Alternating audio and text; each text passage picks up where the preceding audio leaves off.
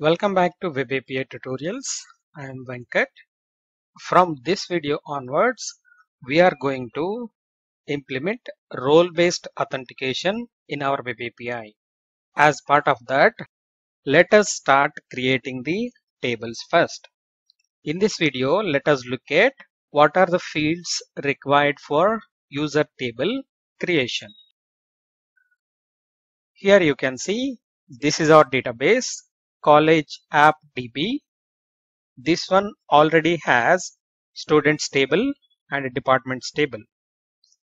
And here you can see students table is already covering student name, email, address, date of birth and department ID.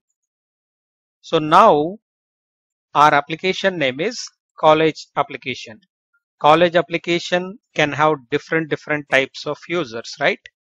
College can have students, also faculty and non-teaching staff. Also if parents required and the principal like that so many users will be there okay?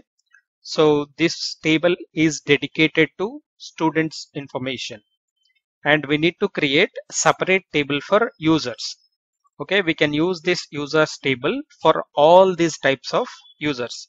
This table will have username this username will be used for login. And this is the password. So using this username and password user can log in. And this one is the password salt.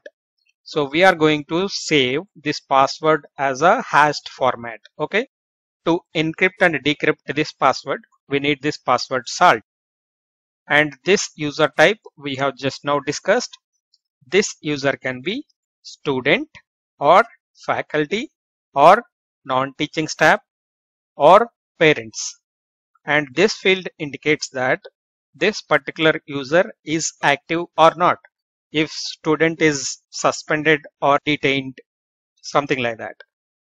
So this is deleted field indicates that this user record is deleted or not. So is deleted will be used in the case of soft delete.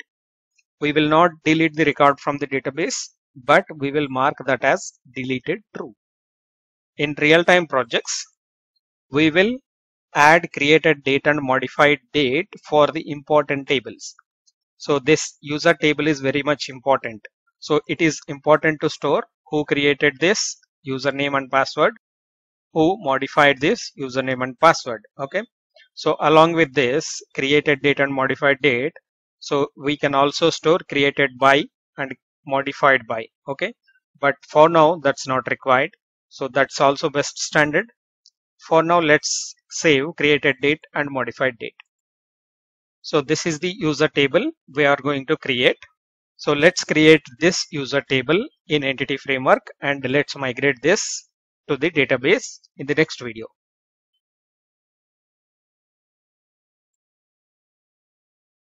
For more videos like this please like share and subscribe.